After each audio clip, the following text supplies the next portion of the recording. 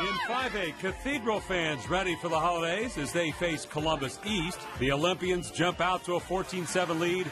Jaden Miller with a six-yard TD run. The Irish respond to the pressure. Third and goal. This is Roman Purcell and the QB keeper. His buddies giving him a little help. 14-13, the Irish down one. But that was the end of the night for the Irish. Columbus East is rolling. It's Miller again. The Olympians win 42 to 13. They advance to the state finals in 5A against Kokomo.